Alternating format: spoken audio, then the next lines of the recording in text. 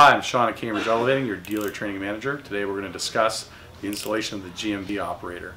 So inside your box, you will have your landing sill, a toe guard for the Cambrian. It's not required on our Heritage model because we supply our own on the cab, and the operator. Let's talk about everything you're going to receive inside the box. First, you're going to start with your sill hardware. Inside here, your carriage bolts are not required as they're for metal floors. So on your Lula, you will need these. However, we do supply you with a hardware pack that does come with longer ones to go through the wood floor. Those mount the sill to the cab. Next, you have your door hardware package. It has all your gibs and everything that's required to hang your door panels on the operator. Next, we have our door operator bracket kit. These are used to mount your brackets to the back of your operator to hang off the ceiling. Next, we have a heavy operator kit that is installed on the brackets. It helps prevent the uh, drop of the operator after you set the correct door height. You'll also find the key to adjust your doors inside the box. Lastly, you have a bag of extra hardware for those days when uh, you drop something down the shaft, saves you from running down to pick it up.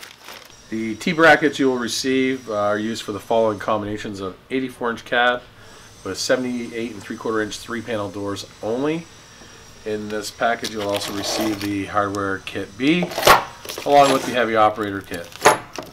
The L brackets are used for the following elevator combinations 84 inch cab with 78 and 3 quarter inch doors, 2 panel only. 84 inch cab with 84 inch doors, 2 and 3 panel, and 96 cab with 96 inch doors, 2 and 3 panels. With the L brackets, you will receive a door mount kit hardware package B along with a heavy operator kit. Here we have our A bracket. It's used with the following combination of 96 inch cab with 78 and 3 quarter inch doors, and you'll also get the door mount kit hardware pack A. Here we have our B bracket. It's used with our 96 inch cab and 84 inch door combination for two and three panel doors. You'll also receive the door mount hardware kit marked A. Take your three long carriage bolts here uh, and slide them in the bottom of the sill. These come in your hardware packages A and B.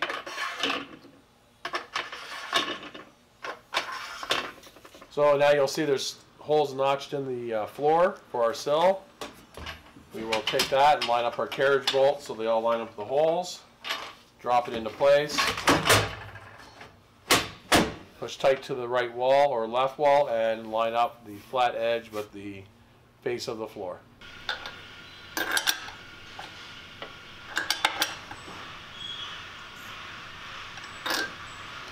Okay, so here, I just open up the door operator mounting kit. We're going to install our cage nuts onto our T-brackets. Just like so. Now we're ready to install the brackets on the operator. This here is your heavy operator kit that we supply with the L brackets and T brackets. Going to install this now over your top nut mounting here so that you will lock it in once it's the other way around. It will hold all the weight for you. Again, it's just hand tight so we can adjust it later. Now we can add this plate onto your threaded rod. And then Let's add your couple nuts here. Once we have our height set, we'll lock these down into place, which then will hold your operator up and you'll never have to worry about your operator dropping down onto your sill plate. As you can see, I chose a second window on the other side as well, just so we can spread the weight out evenly along the ceiling. That way it also helps if you have something with uh, no header. Now we're going to install the custom brackets. You'll see that they have a couple of cutouts on the back side that will line up with the operator dimples that are here. Just slide those in, line them up. The holes are pre-threaded, so you can just use the exact same bolts that come with the kit. Thread them in, lock them down tight, and then I grind off the ends on if these bolts are too long, because they will pass the bracket. Um, in one of your new kits coming out soon, you should have the proper length so that there's no interference from the bolt. So now these are installed and tight. Just zip that off with your grinder and you're good to go ahead and mount. As you can see, both brackets have been installed. with the heavy operator kit. As you'll see, there is some three quarter inch shims on the rooftop. That's only going to be for your combination of 84 inch cab with 78 and three quarter inch doors. So now we need to set the height to mount them. I'm going to take a measurement from the sill to the underside of the arm plus two and three quarter inches for a total of 81 and a half. That will be the correct height for your doors. Then we can go ahead and confirm that we have it set to the correct height. Drop the tape back on the top of the sill and we are 81 and a half. Now we can go ahead and plug in our operator and test to make sure it's functioning as it should. Plug these in where they go into the door, first floor door. On your board here you have an enable button and then on each uh, section there's a, another button that you can press and test. So we're going to hold in the enable button and then hold in the black button.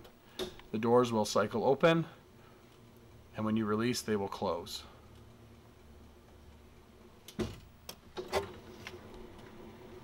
And that concludes on how we install a GMV operator.